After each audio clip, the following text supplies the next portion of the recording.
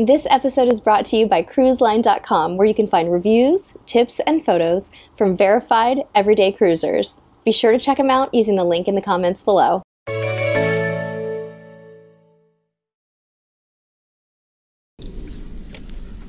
Hey, cruisers! Welcome to cabin A732 on Grand Princess. This is an inside cabin aft on, I don't know, I think we might be on the port side this time. So we are going to show you around this cabin and I wanted to let you know right away that if you notice that the room seems a little more cluttery and a little more full, that's because it is. I don't think we've ever done a how to organize my cabin video in an inside cabin before. And to complicate things even more, there are three of us in this little teeny tiny inside cabin and we're on a 10 night cruise and it's a cold weather cruise to Alaska. So we have a lot of stuff. Things are not as beautiful, neat, organized, and fancy as they normally are on a tropical seven night cruise. So, one of the first things that that necessitated, because we have so little storage space in this room, is the use of our bedside tables. I'm going to go ahead and walk you over there right now. So, we have the room set up with twin beds because of the fact that we have a, a, third person sailing with us, which is our little son, and we had to have an upper. So they won't actually allow you to have the beds together when you have the uppers in use on these on these sailings. So we're actually kind of glad because it gives us more room in the center of the cabin to move around. But as I was saying, we had to use these bedside tables. So on this side, my husband's side, we have this nice little storage area right here, which is his iPad. And then we actually have, I take it back, this is my stuff. So I have my pajamas and my sleep mask and some headphones there. And down here, I actually ended up having to put all of my socks and undergarments here because I ran out of space. Now in this little drawer, this is my husband's side actually, He's got his Kindle, pajamas, some tech equipment that we ran out of room for. And over here, we're keeping all of our paperwork from this cruise. So as you can see, we have all of our newsletters and all the paperwork that they leave on our bed or outside the door. So good use of those drawers this time. Now we're gonna come over here and check out this little vanity area. So um, one thing we noticed is that this is actually a huge vanity and desk. We're really happy with it, but as usual, you only have the two outlets right here. So we've stacked our phone on top of the handy dandy cruise user's manual, combination room service menu, everything you'd ever need. And we've got our little usual charging station here. As you can see, this is a USB charging hub. This is my son's charger for a Samsung and chargers for our Apple watches and all kinds of camera equipment that we have to charge. But we got these short little cables before this cruise so that we didn't have quite as many wires everywhere. Over here, we actually have kind of our little beverage station. So I have um, a little plastic uh, BPA free bottle that we're going to take on shore with us for water for my son. And we'll attach this to a backpack with a lanyard. Or not a lanyard. Did I just say that? A carabiner. I'm sorry, you guys. I guess you could use a lanyard, but I'm talking about a carabiner. So that's why it has that little clip. This is the thermos that my husband uses in the morning for coffee.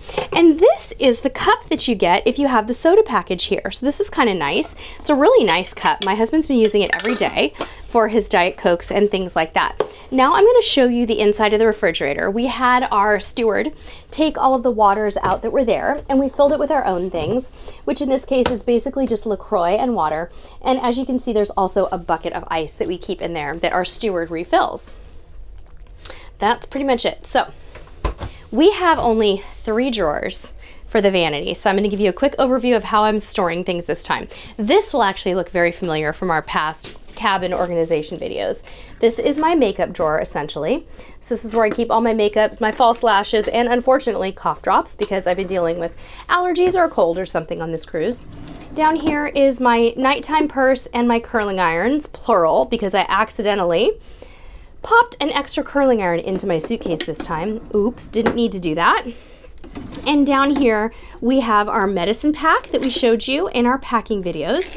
I have my laundry pack that I also showed you in our packing videos, and pretty much a lifetime supply of hand sanitizing wipes. Now I'm gonna shimmy over to this area right here and show you how we're using these little ledges. These come in really handy on Princess, and I always love these exposed little drawers, not drawers, but shelves. This one here is where my husband's storing all of his camera equipment. So we have a GoPro chesty, tripods, all kinds of things like that, big charging things. This is where I'm storing my LaCroix that is not in the refrigerator, and a spare shore day bag. And down here, as you can see, it is all about the sunglasses. And back here are binoculars. All right, now we're gonna go take a look at the closet. You guys, this is the smallest closet I've ever seen on a cruise ship. It, the hanging area is so tiny, so we're gonna get to that last.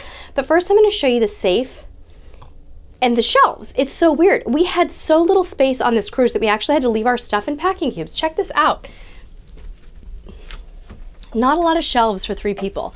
So we'll start at the top. This is all of my husband's clothes that we ended up having to leave in packing cubes. And of course our safe, which is a combination operated. We ended up throwing some stuff on top of that area. All of my son's pants and his packing cube here. And then my packing cubes and down here to my son's. And then I actually, because the closet's so small, you guys, I have all my shoes over here. It's so weird. So before we get to the bathroom, also want to show you guys the hanging space. Super small. This is the smallest hanging space I have ever seen on a cruise, but it's fine. It's just a matter of kind of modifying a little bit. Like normally we would have two pop-up hampers in a closet like this, but we only have room for one. Normally we'd have all of our shoes over here.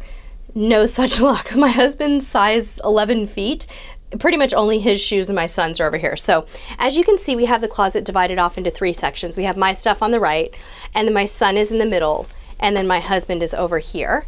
Up here is nothing too exciting. This is just the life jackets, a bunch of camera equipment, and my husband and son's backpacks. And now we'll move down to the floor.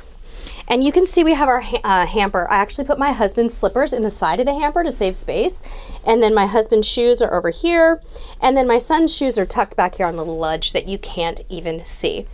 So now let's take a look at the little bathroom. So the restroom is located right by the entrance here and sort of behind this little storage door. Makes it, makes it a little bit tricky when you're getting ready to have one person kind of getting ready in here and then the other person going in and out of the bathroom, but it's an inside cabin, so that's pretty much what you'd expect. There is a mirror on the back of this door here for um, a full length mirror for getting ready, which is awesome. I really enjoyed that. That's not necessarily something that you get on every cruise. So come on in. I'm gonna actually show you the shower first. We'll kind of get that over with.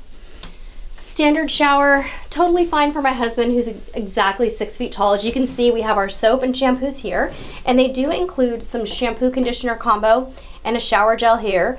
And because we're keeping it real on Cruise Tips TV, those are my sons and my swimsuits drying on the line from our hot tub experience yesterday. Okay, so come on in, Mr. Cameraman. So this is how we're making use of our shelves on this cruise. We have just random little sample sizes and medication up here, deodorant, sunscreen. Down here I've got all my face creams and my body creams, some face wash and some eye makeup remover pads, deodorant, and stuff you can just basically kind of see for yourself. So shaving cream, self-tanner, my husband's razor, and our toothbrushes and my poor toothpaste you had to run in with a Sharpie pen. And of course we always pack our own hand soap on a cruise. So we keep this here. On a longer cruise, we really just like this over these sticky little things. You know how they get kind of gross. So you guys have heard me say it before.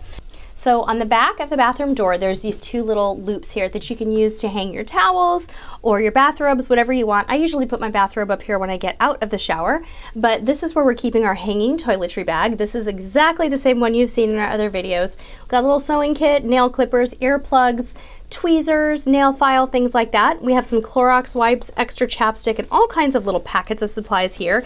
And down here, my razor, oops, door's moving a little bit. The ship is moving a lot, you guys. And um, floss, things like that. Now there's one area that I wanted to show you before we sign off on our little cabin organization video, and that's our little grab and go station that we um, always have by the, um, by the exit of our door on every type of cruise, no matter what. As you guys know, the walls on a ship are magnetic. So we've bought these super strong magnetic hooks that are really strong and I do mean really strong.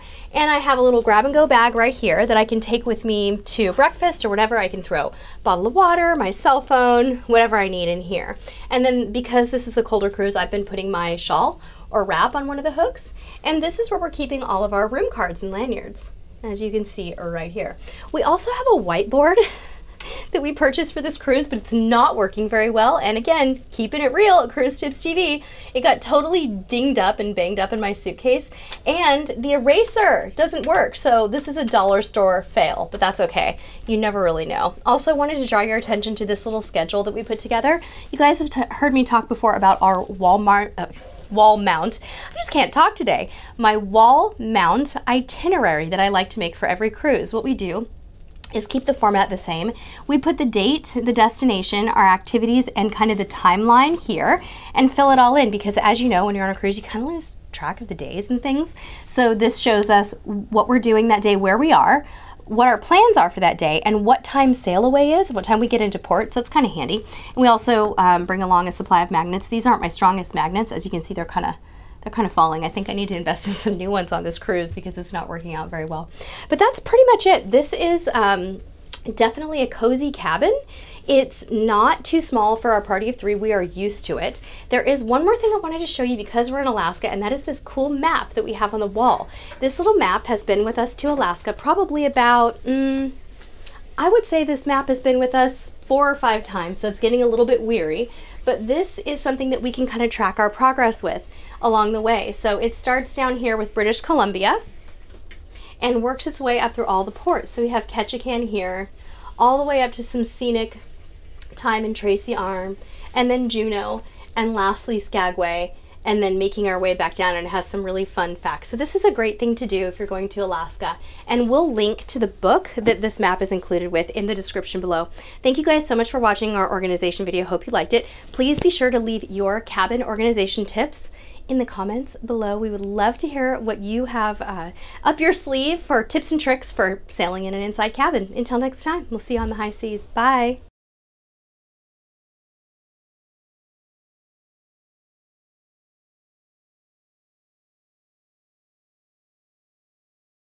and I'll show you around the bathroom. Be careful on the step there. it's a little tricky.